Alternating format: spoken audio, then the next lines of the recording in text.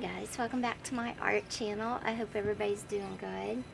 So I introduced this chair in a video that I never actually posted. It's actually the first of this video where you see me sanding away. This is a chair I got at a thrift store and I just see it as living art.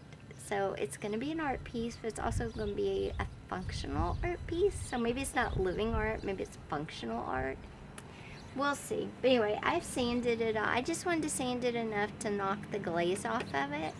Like I said, I got it for seven, six ninety five, seven dollars at a thrift store. And now all I'm about to do is coat it in some Kilz, some primer, and then the real art will start after that. But I thought I'd bring you along for this part for a little bit. Um, and just say hi and hopefully you'll see this soon.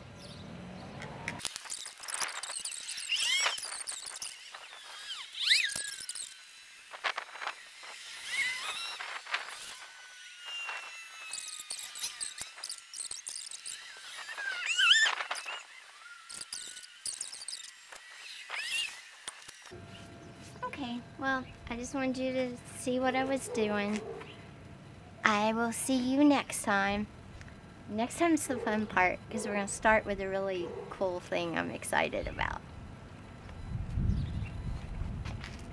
Okay, so I finally got the base coat of old comics down and what I'm doing now is I'm taking another vintage comic but it's white and not yellowed and I'm to place them all over in random spots. I'm not doing it solid because I want the old comics to shine through too, but I'm to place them in varying, various locations on the chair so that they pop.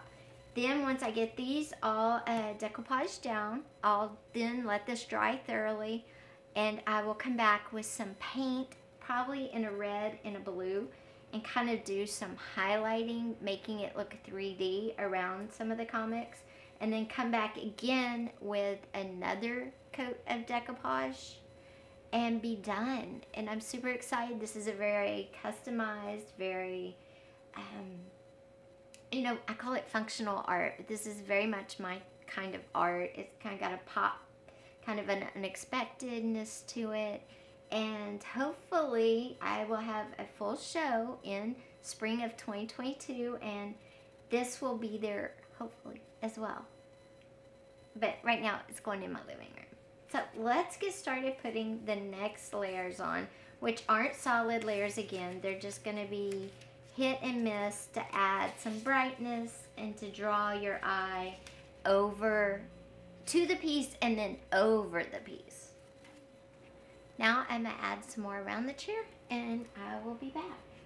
Alright guys, as you can see on the seat, I've got the brighter ones all down. Super excited. It's all going to dry. I'm going to pull you out a little bit.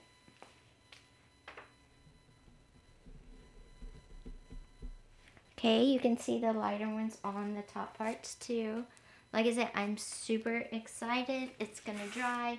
Then I think I'm going to come in with some black and kind of highlight it and do some accenting with it.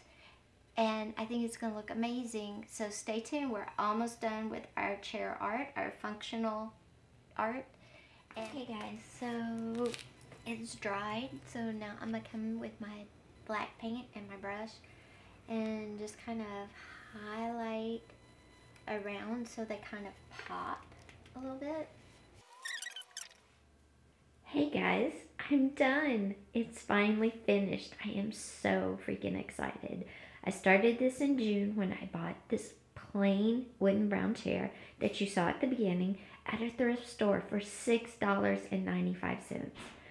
I uh, primed it, I put a layer of comic books on it, and then I went back with a brighter comic on top and then highlighted everything with a black paint, and it looks so amazing.